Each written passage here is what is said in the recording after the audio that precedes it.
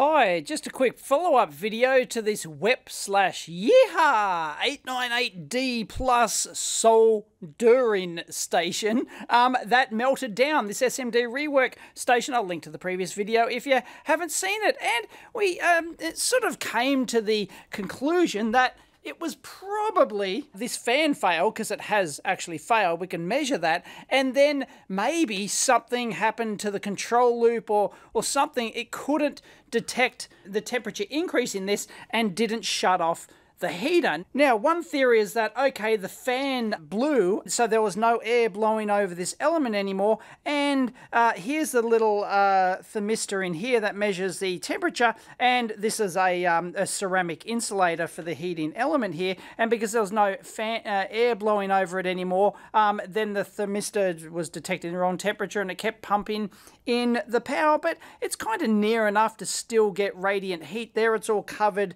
in metal and everything else, so I don't think that was a uh, real issue. But anyway, um, a lot of people in the comments for the previous video said, aha, it is the SCR, uh, sorry, the Triac in this thing, which is um, here, and, and it's a BTA 16 uh, slash 600 volt uh, Triac, a pretty decent one from uh, ST, designed for you know medium power applications. Here's the uh, data sheet, and it looks like to be a genuine one, not some knockoff or anything. And a lot of people said, ah, the Triac failed short. And sure enough, if the Triac actually failed short, then there's nothing that the uh, processor on this thing could actually do via the gate control uh, opto coupler here, it couldn't switch it off, which could certainly be a failure mode. A lot of people have said that, oh, they've seen other uh, Yihua slash WEP uh, stations fail because of the Triac. But I actually measured the uh, anodes on the Triac here and it's not shorted. So we'll actually test this in a minute.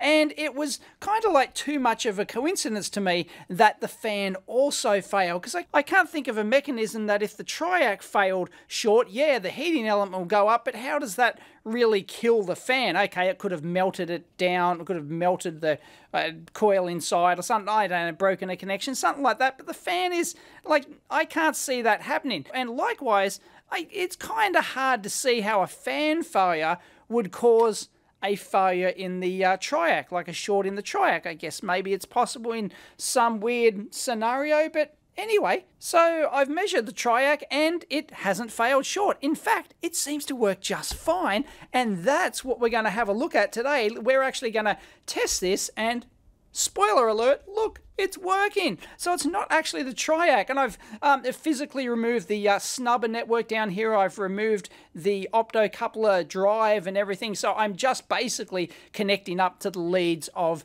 the Triac in here. And this is basically what we've, uh, the setup that we've got in DaveCAD, which you can download, by the way, on GitHub. I might have to link that in down below. You can get the official DaveCAD.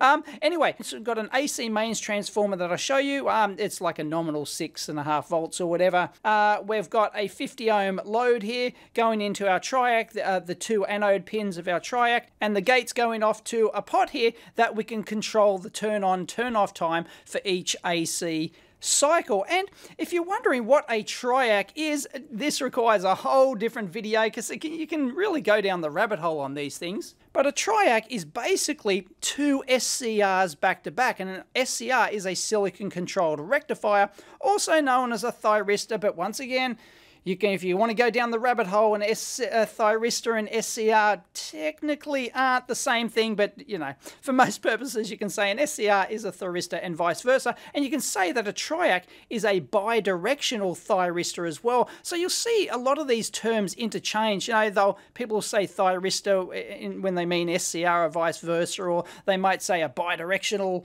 thyristor when they really mean, you know, when it's actually a triac and all that sort of stuff. The terms for these things are actually uh, rather confusing. But basically, two SCRs back to back like this, and an SCR is basically a diode like this with a gate. So I would just look at one SCR like this and I'll just go over very crudely how it works. It's basically, as the name suggests, it's a silicon controlled rectifier. So it's basically a diode like this that allows current to pass through, but only when you get enough gate current in here. And these aren't voltage operational devices, they're actually current. So you need a minimum gate current to flow in here and then it latches on. It works like a latch. And once you provide that gate current, you, you can actually have a switch in here, like going up to the positive thing, and you can provide that gate current through there. And this SCR will actually latch on. So you can just a momentary button switch, you can press there and it'll latch on this SCR. And the SCR won't turn off until such time as the uh, holding current uh, through here. It depends on the load and everything else. But when you, it'll keep maintaining that latch position until a minimum holding current where it'll actually just un unlatch and then you can restart it again. So quickly in a bit more detail how an SCR works and hence how a triac works because the triac's just two SCRs back to back works on AC. We've got the equivalent circuit in this case for a, a triac. It's working in one what's called one quadrant of the triac. But just think of this as the equivalent circuit for the SCR. I just got this from Wikipedia here and basically two regular bipolar transistor, regular bipolar transistors PNP and NPN. And uh, hopefully you can see that, so the base current just flows through here like a normal NPN transistor like that. And once you provide enough gate current, of course, then current starts to flow through the NPN transistor. Basic, uh, you know, transistor operation. And then, of course, because you've got the PNP up here, it can conduct through its uh, base like that. And, you know, it's a bit confusing that we've got bases here when we're talking about NPN transistors and gates when we're talking about uh, thyristors, not to be confused with gates on MOSFETs, which are voltage uh, you know, driven devices. This is still current driven. So it ends up flowing through like that. But once it does that, of course, it switches on this PNP transistor so that some current can now flow through here into the base to keep this thing switched on. So it latches on with this PNP transistor like this. So you only need to provide a little short burst of gate current in here to latch this this two transistor circuit on and that's what an SCR does. It actually latches on and I'm sure I've done a video way way back on SCR latch up which is a phenomenon in semiconductor structures inside ICs uh, like regular logic ICs where it, they will act as an SCR and they'll latch up. A similar sort of you know a thing happens with the output structure of transistors in logic circuits. I'll link that in at the end up here somewhere. Check it out. Anyway, that's how an SCR works and latches on. And you can see that in this case, when the polarity reverses in an AC configuration, the current can't flow through here anymore. So one SCR inside the dual back-to-back triac, um, it switches off and then the other one can start to conduct in the opposite direction. Hopefully that makes sense. So they're very cool devices, SCRs and triacs, and as I said, a very big, deep rabbit hole if you want to go into the dynamic uh, operation of these sorts of things, and it really gets a bit complicated.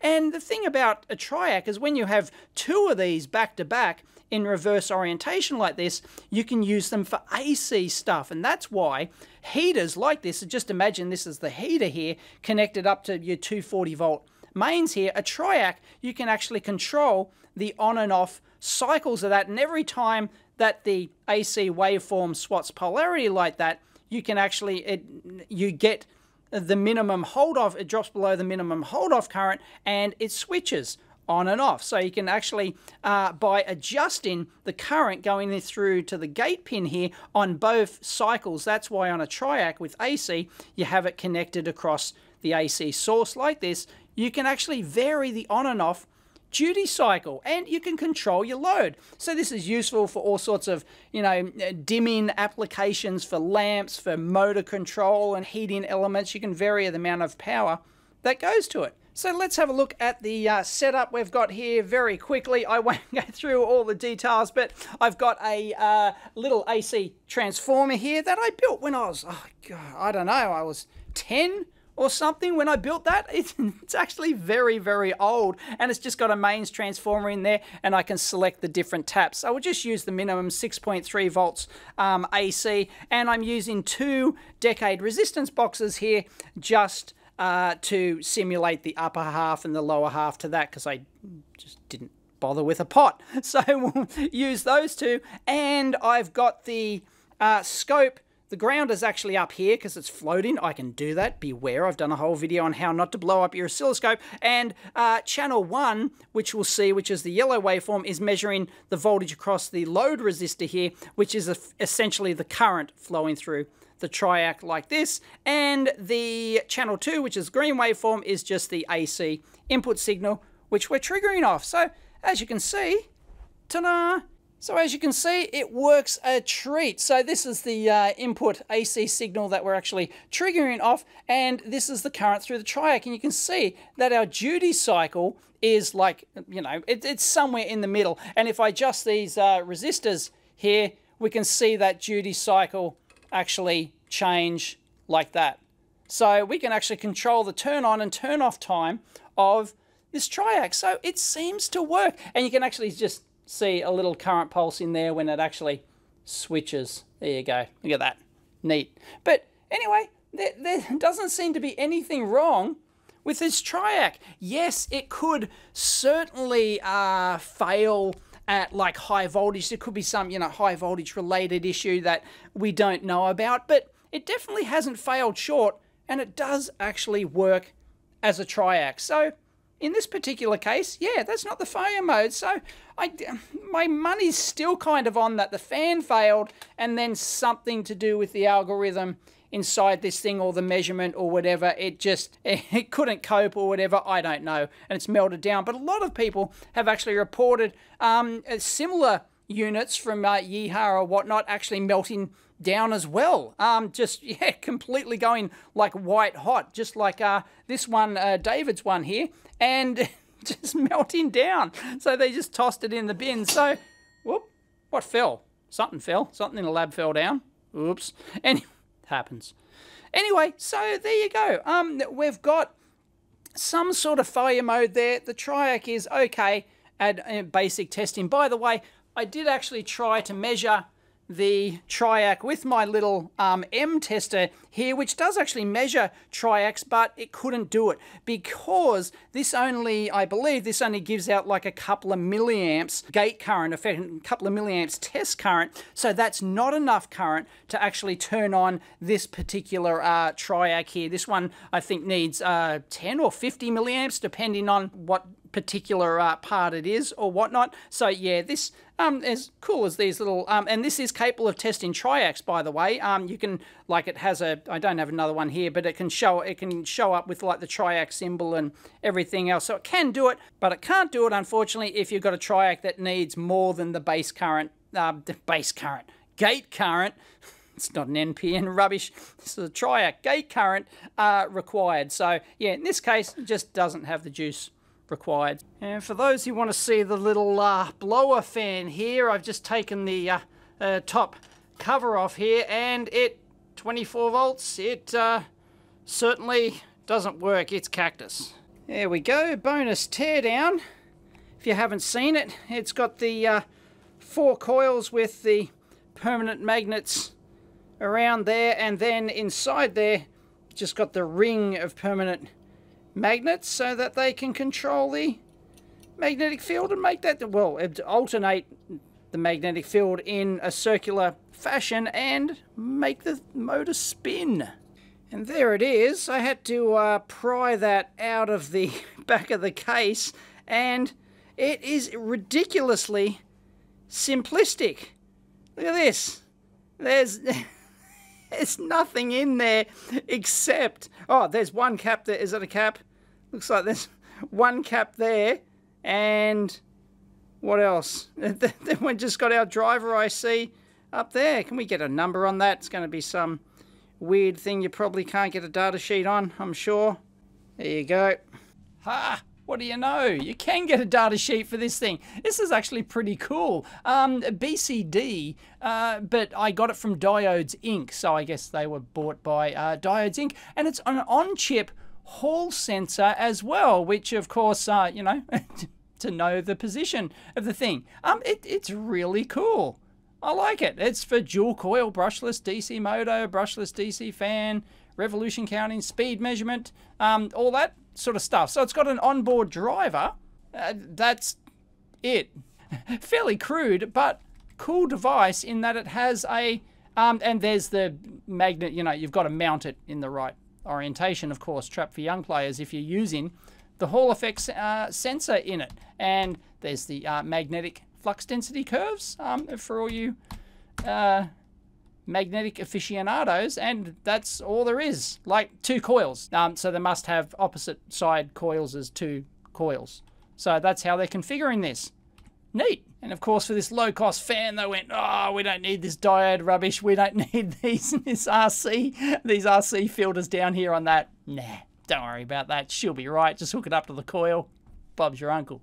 So that's just crazy uh, simplistic. I ones I've um, seen before are much more complicated than that in terms of uh, all the drive. But I guess okay, just do it in one chip. It's you know ultra low cost. But anyway, that puppy has failed, and whether or not it's the uh, it, that was the cause of the issue, or whether or not I don't know something else went wrong on the board and killed it, I I don't know. I think it's just likely to have like just uh, failed somehow, just um, mechanically or electrically failed.